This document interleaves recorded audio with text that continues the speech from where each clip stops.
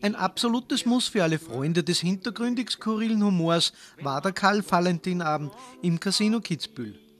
Die Münchnerin Sissi Engel und der Wahlmünchner Peter Zimmermann brillierten in ihrer Fassung über den genialen Trageist und Dadaist Karl Valentin mit seinen hintergründig philosophischen Texten. Ob der Theaterbesuch, die Lorelei, Semmelnknödeln oder wenn ich der Herrgott wär, das Publikum hatte seine helle Freude an den gespielten Szenen. Jetzt haben wir heute ein Problem. Wir müssen mit der 3 anfangen. Also mal die 3, das wird heute die 1. Äh, weil, weil wenn die 3 die 1 werden, dann kann die 2 bleiben. Das haben wir so überlegt gehabt. Also wir fangen schon am Anfang an, aber mit der 3. Das ist nicht anders gegangen. Die 2 bleibt und wenn die 3 die 1 ist, dann wird die 1 die 3. Die 4 kann auch bleiben, die 5 müssen wir von der 7 herziehen. Äh, dann wird 5, äh, 7 wird 5, 5 und 6, 6 ist 5 und 7 ist wieder die 6, also 5 auf die 7. Äh, weiter weiß ich jetzt auch nicht, ich muss dann nachher nochmal nachschauen, aber irgendwie kriegen wir das schon auf die Reihe. Äh, ich fange jetzt also mit der 3 an, also sozusagen mit der Nummer 1, also 1 ist jetzt 1, aber 3. Wie herrlich ist es im Wind Winter auf, auf ein Schade und, und, und gerade der Winter, der, der wäre so interessant gewesen. Du Alter, denk da nur, da gehe ich eben über die Treppen rauf, da begegne mir unsere Hausfrau und hab mir schon wieder was geschenkt. Rat mal, was mir geschenkt hat. Seine Kinder, sag's halt. Da schau her, zwei Theaterbilletten für den Faust. Ja, was sagst du jetzt da dazu? Was soll ich da dazu sagen? Warum geht's da nicht selber nicht, ich alte Luder? Nein, sie wird halt keine Zeit nicht haben. So, so, sie hat keine Zeit. Aber wir müssen schon eine Zeit haben. Aber sei doch nicht so undankbar. Ja, aber du, das siehst doch ganz deutlich, dass die Frau da was gegen uns hat. Ja, sonst hätte uns doch da nicht die Belebten für, für, für den Faustschenker. Aber sie wollte uns doch eine Freude bereiten. Was? Sie uns? Ja, haben wir ja schon einmal eine Freude bereitet. Nein, nein, nein, nein, nein. Niemals. Peter Zimmermann und Sissi Engel präsentieren einen Karl-Valentin-Abend und stellen sich dabei einer Aufgabe, die wahrlich nicht einfach zu meistern ist. Karl Valentin nachzumachen schien, äh, schien ja lange Zeit fast unmöglich. Wie seid ihr an die Sache herangegangen? Ja, also eigentlich glaube ich immer so, dass mir der Valentin schon von klein auf irgendwie beschäftigt. Also anders wird es also nicht beruflich halt, aber so halt von seinen Texten, weil er ja ganz tiefgründige Texte hat und eigentlich philosophisch. Und das Lachen bei Valentin ist oft so, dass er ihm dann auch wieder im Hals stecken bleibt und sagt eigentlich, na ja, na irgendwie. Und er ist halt für mich, war da der ist und äh, Philosoph und werde da lang nach seinem Tod noch weiterleben, weil seine Texte einfach toll sind und je einfacher man, denke ich, diese Texte äh, interpretiert, umso mehr haben sie Wirkung. Wenn man dort noch was draufsetzen würde, das mit Slapstick und so weiter, äh, das glaube ich, würden wir wieder mehr kaputt machen. Also nur auf den Text verlassen.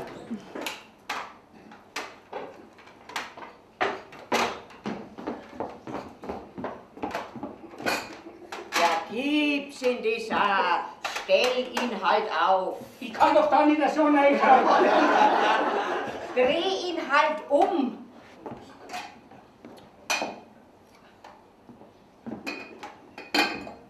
Wie der Mensch schon so eitel sein kann. Für wen regst du Wasserschätze an? Mir gefällst und wie im anderen brauchst du nicht gefallen. Vielleicht sitzt im Theater ein sauberes Madel neben mir. Die wird dann gar dich anschauen. Die schaut doch den Faust an. Du, ich, ich meine doch in der Pause. Schon wieder ein Eintopf. Bei uns hat es noch nie was anderes gegeben. Da hast du Kraut.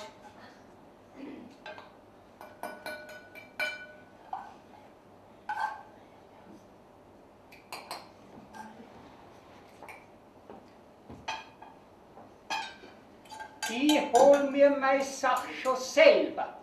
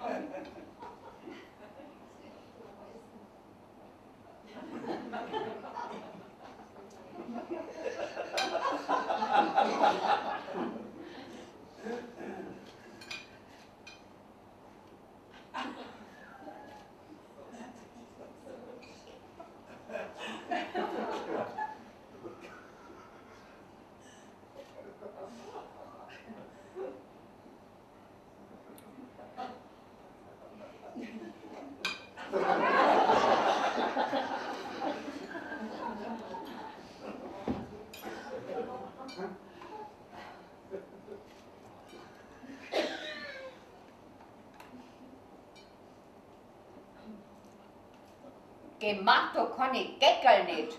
Während dem Essen brauchst du nicht in den Spiegel reinschauen. Du, gerade da, weil dann habe ich zwei Portionen. du, Fanny, sag einmal, was machen wir denn da mit unserem Buben? Ja, wenn der, wenn der heimkommt. Hab ich schon dran gedacht. Das Essen müssen wir warm halten. Bevor wir fortgehen, müssen wir mal einen Zettel schreiben. Na, ist nur du weiter. Den schreibe jetzt ich gleich. Sisi Engel, was verbinden Sie mit Karl Valentin? Haben Sie persönliche Ja. Bezugspunkte? Karl Valentin ist hintergründig und philosophisch und lebenswahr und voraussehend. Eigentlich macht er alles, hat alles, er ist ein Klassiker und alles, was er geschrieben hat, ist eigentlich die Wahrheit. Egal, ob das jetzt etwas Trauriges, was Dramatisches oder etwas Fröhliches. Denn gerade diese Sachen, die so lustig sind, die sind ja oft gar nicht lustig in Wirklichkeit. Sie sind ja nur lustig, wenn die Leute eigentlich sehen, wie dumm sie sich benehmen oder wie unsinnig sie sich benehmen. Das zeigt der Karl Valentin wieder. Da schreibe ich, dass wir nicht daheim sind. Das brauchst du nicht schreiben, weil das sieht er doch eh. Das meine ich ja. Ich schreibe, dass wir nicht da sind, weil wir abwesend sind. Ja, schreib München den so und so finden. Ich schreibe, lieber, Lieber, lieber. Ja, wie heißt jetzt der? Du als Vater musst doch wissen, wie der Bub heißt. du als Mutter musst viel eher wissen, wie der Bub heißt. Weil wir immer Bub zu ihm sagen. Wie heißt jetzt der? Na du, warte mal, ich frag die Nachbarin. Vielleicht weiß es die. Na, da werden wir doch selber draufkommen. Jesus Maria und Josef. Josef heißt er. Dann schreibe ich mein lieber Josef. Äh, So kannst nicht schreiben, weil er mir auch gehört. Dann schreibe ich halt unser lieber Josef, Ja, dass du Ruhe gibst. Ja, sehr geehrter Herr, unser lieber Josef. Dein Essen steht in der Küche am Ofen. Mach es dir warm, weil es schon kalt ist. Naja, es, es ist bereits Dezember.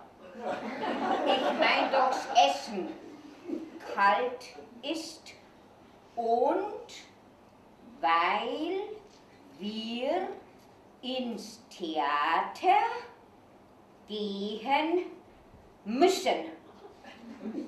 Fanny, wenn wir nicht mögen, dann müssen wir nicht sollen, wollen, möchten. werden. Ja, dann sind wir doch schon weg, wenn er den Zettel liest. Ja, ja, ja, dann schreibst du gegangen sind. Gegangen, Gegangen sind. sollte das Theater aus werden, dann kommen wir vielleicht bestimmt nach Hause. Es grüßt dich deine fortgegangenen Eltern nebst Mutter. Bei den, bei den Eltern, da ist doch die Mutter schon dabei. Rindvieh. Ja, dann mache ich halt da einen Punkt, sonst liest das Rindviech weiter. So, und jetzt, jetzt schreibst du da noch dazu, schreibst da noch dazu, solltest du, solltest du das Essen lieber kalt mögen, dann brauchst, dann brauchst du es dir nicht warm zu machen. Weil es sonst zu heiß wird. Wie kommt denn dieser Karl-Valentin-Abend hier in Kitzbühel an? Ja, das weiß ich nicht. Äh, Mir gefällt es gut. Wenn angekommen ist der Zimmermann in Kitzbühel da, war er immer da, ist er ja, unter dem Jahr öfter da und hat auch schon Lesungen gemacht und Vortragen beim Praxmeier, aber diesmal spielt er recht echtes Theater. Er hat ja, ich verfolge ihn ja eigentlich, bin mit, ihm über 20 Jahre bekannt und 25 Jahre und habe alle seine Schwierigkeiten auch, die er mitmachen hat müssen. Er hat ja nicht immer gute Zeiten gehabt, aber heute hat er ein eigenes Theater in München und es geht ganz gut. Eine kleine Bühne und da spielt er zwei, dreimal die Woche sogar manchmal. Und, das, und, und, und er ist der geborene Karl Valentin. Wenn man einen Film von Valentin sieht, dann glaubt man, er steht da selber. Nicht? Und in der Rolle schauspielerisch ist er sicher einfach bestens geeignet. Da hat er seinen Weg gefunden für das. Ja. Und jetzt schauen Sie mal her da. Meine Uhr. Meine Uhr ohne Zeiger. Die, die hat ja gar keinen Wert. Ich meine, eine, eine Uhr ist das nicht selbstverständlich auch so. Sie werden jetzt doch da nicht behaupten, dass das da ein Papagei ist. Ich persönlich trage die Uhr ja nur wegen der Kette. Ja, das sagt schon das Wort. Uhr, Kette. Da ist ganz selbstverständlich, dass da eine Uhr drin hängen muss. Da kann ja nicht ein Hund hinhängen. Dann, dann wäre das eine Hundekette. Ja, und, und wer wird einen, einen Hundschuh in die Westentaschen reinstecken? Niemand. Ich selber halte der Uhr ja für überflüssig, weil schauen Sie, ich wohne ganz in der Nähe beim Rathaus. Und jeden Morgen, wenn ich da in mein Geschäft gehe, da schaue ich dann auf die Rathausuhr drauf, wie spät es ist. Und das merke ich mir für den ganzen Tag. Und ich nütze dann meine Uhr nicht so ab. Die heutigen Uhren, die gehen ja noch eher. Aber früher, früher war das Fahrt mit den Sonnenuhren. Keine Sonne, keine Uhr. Da ist mir meinige ohne Zeiger lieber. Aber wenn es nicht geht, ich, meine, ich meine, gehen, gehen tut die schon. Innen. Sie, sie zeigt was heute nicht an. Darum hat auch die ganze Uhr gar keinen Wert. Ich meine, ich könnte sie dem Uhrmacher geben. Aber in dem Moment, wo ich die Uhr dem Uhrmacher gebe, habe ich keine mehr. Da ist doch besser, ich behalte sie so, wie sie ist. Ah, aber wenn es nicht geht. Ne? Weil, sollte mir einmal die Uhr stehlen, ne? ja, dann kann sie der damit rumärgern. Ne? Sollte sie mir eine stehlen, na, der wird aber Gaudi haben. Fanny! Fanny! Ja. Tu mir mal Fliegen ein! Du musst mich schon mal ruhen lassen, sonst werde ich selber nicht fertig. Mein oh, Fliegen ist bei dir. Ah! Ach, du mich ganz, du mich ganz ins Haut. Ja, wie soll ich sonst? Au! Jetzt, jetzt, Was soll ich denn tun? Tu mir mal Fliegen ein.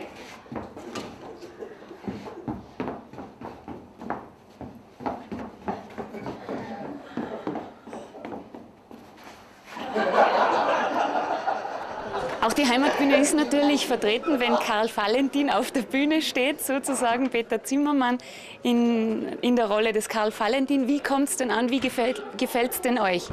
Ja, sehr gut. Jetzt waren wir nicht heute schon das zweite Mal bei ihm. Wir waren ja schon draußen in München, im Hofbräukeller. Und wie wir gehört haben, wie er gesagt hat, dass er da spielt, war es natürlich für uns ganz logisch, dass wir, dass wir da auch wieder gehen. Nicht? Also ist es einfach ein Genuss, sowas. That is all. Yep.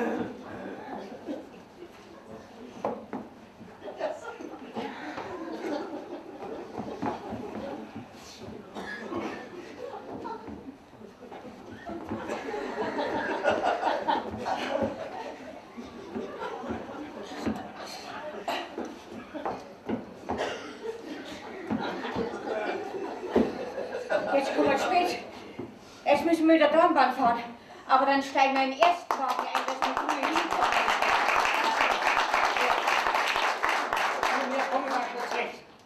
Also man hört es ganz deutlich heraus, euch geht es wirklich um das Hintergründige. Was soll denn das Publikum von diesem heutigen Abend mitnehmen? Was sollen sie lernen? Ja, sie sollen sehen, wie es eigentlich im Leben zugeht und was sie eigentlich alles falsch machen und dass es eigentlich oft ungeschickt ist, dass sie Dinge falsch machen. Die müssten gar nicht sein. Sie sehen sich ja selber beim Theaterbesuch zum Beispiel auf der Bühne. Das ist doch so ein typisches Ehepaar. Die streiten um nichts, aber sie streiten. Ein anderer Mann geht halt auf Nacht in sein Wirtshaus und kommt in der Früh heim. Aber das ist ja alles fremd. Du fühlst dich ja nur am häuslichen Herd glücklich. Ach, du hockst doch auch lieber bei mir daheim. Ja, wenn du es nur einsiehst. Ah, du, ja, ja, ja, du hast mir doch jede Stunde meines Lebens verschönt.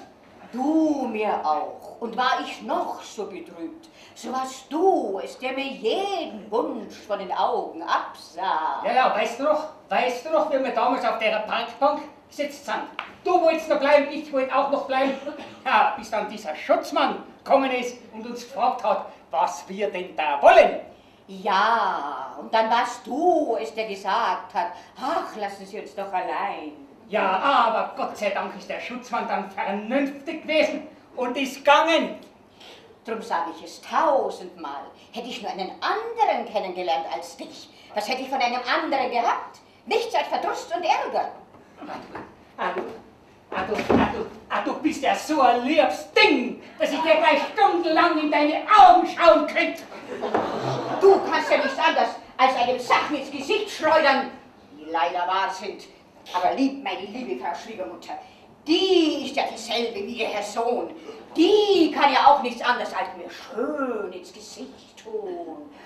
Und hinter meinem Rücken lobt sie mich, wo sie mich da loben kann. Und da bin ich ja gut genug, dass ich ihr alle meine Wäsche waschen lasse. All meine Näharbeiten lasse ich ihr zukommen, ohne einen Pfennig zu verlangen. Da ist meine Schwiegertochter, hinten und vorne, zum Weihnachtsfest, alle Jahre. Da habe ich von ihr die schönsten Präsente angenommen, ohne ein Wort zu sagen. Aber das ist ja scheint alles vergessen. Meiner lieben Schwiegermutter fehlt es auch an nichts. Wie oft hat die mich bei einem kleinen Seitensprung ertappt? Nichts hat sie dir gesagt. Rein, rein gar nichts. Verschwiegen hat sie dir alles. Das sind ja unplumpe Vertraulichkeiten. Das sagst du ja nur, damit ich dich noch lieber haben sollte, als ich dich sowieso schon habe. Mit derlei Steffen kannst du mich nicht aus der Ruhe bringen. Und wenn du mir es nicht so bunt treibst, dann, dann pack ich alle meine sieben Zwetschgen zusammen und bleibe erst recht bei dir.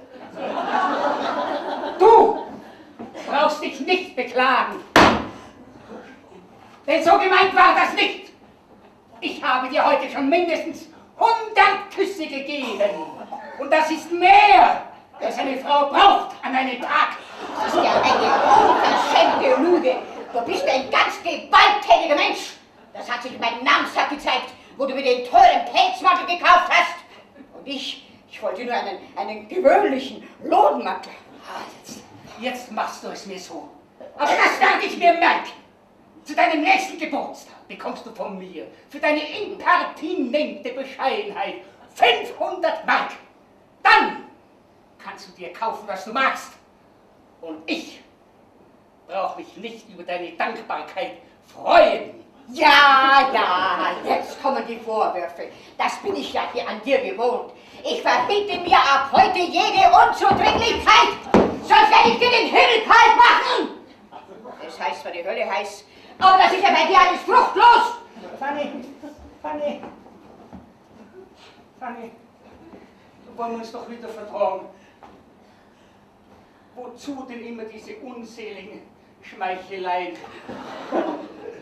Sagen wir uns doch lieber in Zukunft die Gemeinheiten direkt ins Gesicht. Ja, du saudummer Kerl, du hast ja recht, da bin ich direkt damit einverstanden. Ja, ja, du Rindviech, du Deppert! Sehen Sie, es geht doch auch so. Oder auch bei Streit mit schönen Worten. Und am Schluss äh, sind sie dann doch wieder gut. Es ist alles so unsinnig. Warum hat man die ganze Kraft für Streit äh, hergegeben? Und in Wirklichkeit müsste es doch gar nicht so sein. Und es ist halt der Mensch. Und das ist, ist halt typisch Karl Valentin. Aber, aber, aber, aber, aber die Suppe ist wieder ungenießbar. Wieso? Das ist doch heute eine ganz feine Suppe. Ich hab doch nicht gesagt, dass die Suppe nicht fein ist. Ich hab gesagt, sie ist ungenießbar, ja, weil sie so heiß ist. Eine Suppe muss heiß sein. Gewiss. Gewiss, aber nicht zu heiß. Da, da, da, da, da, da. Alle Tag und alle Tag das gleiche Lied. Einmal ist ihm die Suppe zu heiß. Ja. Dann ist ihm die Suppe zu kalt. Ja. Ich will dir mal was sagen. Wenn ich dir nicht gut genug koche, dann gehst du ins Wirtshaus zum Essen. Das ist doch gar nicht notwendig. Die Suppe ist ja gut. Nur, nur zu heiß. Dann wartest halt so lange, bis sie kalt ist. Du, eine kalte Suppe mag ich doch auch nicht. Dann. Jetzt hätte ich bald was gesagt. Ja, ja, ja, ich weiß schon, gell? Nach dem Essen. Alle Tag und alle Tag muss bei uns gestritten werden. Anders geht es nicht. Ja, wieso? Ah, du willst doch das gar nicht anders haben. Wieso? Bin ich vielleicht der schuldige Teil? Na ja, wer denn? Hab ich da die Suppe gekocht? Eine kochende Suppe ist immer heiß. Vielleicht kochst es zu lang. Zu lang, zu lang. Morgen hänge ich ein Thermometer in, in, in den Suppentopf rein, damit der Herr Gemahl eine richtig temperierte Suppe bekommt. Eine gute Köchin braucht keinen Thermometer zum Suppenkochen da. Ja, ja, jetzt kommt der spöttische Teil. So geht das jeden Tag. Zuerst nörgelt und meckert er und dann kommt der Spott auch noch dazu. Ich, ich habe nicht nörgelt und meckert, aber ich habe als Mann das Recht zu sagen, die Suppe ist mir zu heiß.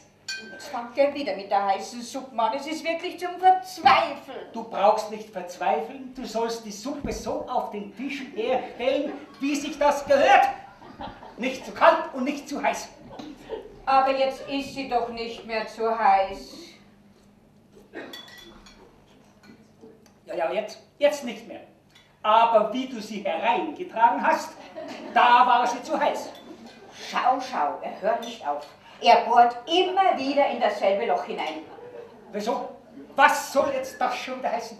Ja, weil du immer wieder mit der heißen Suppe daherkommst. Du bist doch mit der Suppe dahergekommen. Und nicht ich. Du, du, drehst ja den Stiel um. Du bist und bleibst der Streithänsel. Du bist, du bist. Horch! Da riecht so komisch. Ich hör auch was. Du, da, da brandelt was. Ah, hast wieder eine brennende Zigarette auf den Teppich geworfen. Ich hab heute noch gar nicht geraucht. Und wenn ich geraucht hätte, hätte ich die Zigarette nicht auf den Teppich runtergeworfen, sondern in den Aschenbecher, wie sich das hört. Ich hab's ja auch nicht behauptet. Ich habe ja nur gemeint. Und meinen wird man wohl noch dürfen. Um Gottes Willen! Der Rauch kommt ja vom Gang. Ich gehe heute aus und schau, was los ist. Ja. Um Himmels Willen! Die ganze Küche ist voll Rauch. Jetzt der Hass ist verbrannt.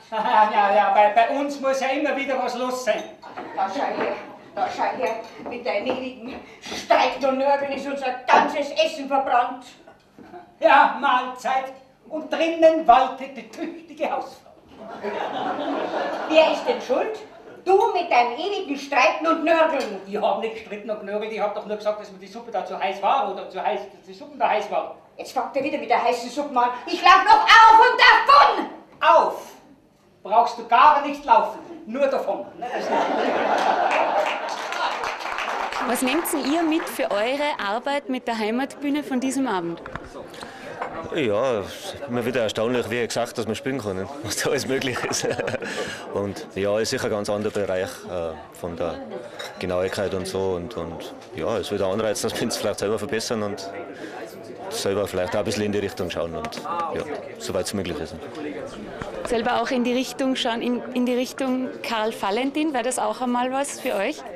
Ich weiß nicht. Ähm, da, da war ich eher skeptisch, weil da muss schon ziemlich vieles passen. Und äh, beim Peter passt halt einmal ja die äußere Form, sagen wir mal so. Er hat halt einfach äh, fast die gleiche Form wie der Karl Valentin. Und das ist halt auch für mich also schon sehr wichtig, weil man halt auch Karl Valentin schon gesehen hat, also in Filmen und so weiter, dass man weiß, wie exakt das dann eigentlich nachmacht. Nicht? Was erwartet ihr euch jetzt noch vom zweiten Teil, von der zweiten Halbzeit? Ja, ich habe jetzt das Programm nicht mehr so im Kopf. Es ist schon. Franz hätte halt die Figur. Ja, Franz hat die Figur. Ja, ja, da müsste man vielleicht einmal eine Woche auf Diät setzen. ja, der zweite Teil, äh, ich glaube, es kommen noch ein paar sehr lustige Sachen. Ich glaube, die, die Semmelknödel sind ja noch, die sehr bekannt sind. Ob es Semmelknödel heißt oder Semmelknödel. Und ich glaube, es kommen noch sehr viele lustige Sachen. Und ausgerechnet Semmelknödel muss er sich bestellen, wo ich doch heute auch Semmelknödel gemacht habe. Was? Ah, Die, dieselben. Dieselben Unsinn. Andere habe ich halt gemacht, aber Semmelknödel sind Semmelknödel. Dellen. Was denn? Semmeln, Knödeln heißt's. Ich habe ja gesagt Semmelknödel. Nein, nein, Semmeln, Knödeln. Nein, es heißt von jeher Semmelknödel. Ja, ja, ja, einer. Aber mehrere Semmelknödel heißen Semmeln, Knödeln. Wie täte man dann zu einem Dutzend Semmelknödel sagen? Ja, auch Semmelknödeln. Die Semmelknödeln, die werden aus Semmeln gemacht, also aus, aus mehreren Semmeln. Ah ja, du, du, du kannst ja nie aus, sagen wir, aus einer Semmel zehn Semmelknödel machen. Oh, machen kann man schon. Ja, ja, ja, ja, machen kannst du schon, aber wenn du sagen wir, aus einer Semmel zehn Semmelknödel machen tätst, dann würden die, würden die ja so klein wie Mottenkugeln. Ja, dann würde das Wort Semmelknödel ja schon wieder stimmen, weil sie nur aus einer Semmel gemacht sind. Solange die Semmelknödel aus Semmeln gemacht werden, aus, aus, aus, aus mehreren Semmeln, heißt das unerbitterlich Semmelknödeln. Äh, Du sagst es auch nicht richtig. Jetzt hast du gerade gesagt Semmelknödel. Nein, nein, nein, ich hab gesagt Semmelknödeln. Richtig muss es eigentlich Semmelknödel heißen, weil die Knödel aus Semmeln gemacht werden. Überhaupt das Wichtigste ist der Knödel. Semmelknödel müsste es ursprünglich heißen. Nein, nein, nein, nein, nein. Das Wichtigste, das ist das M zwischen Semmel und Knödel. Wie sagt man denn dann zu Kartoffelknödel? Ja, das ist dasselbe M. Kartoffeln, Knödeln. Und zu Schinkenknödeln. Ja, nein, nein, da, da ist das M schon zwischendrin. Schinken, Knödeln. Es gibt keine Knödel ohne M. Doch, die Leberknödel. Ja, ja, ja, stimmt.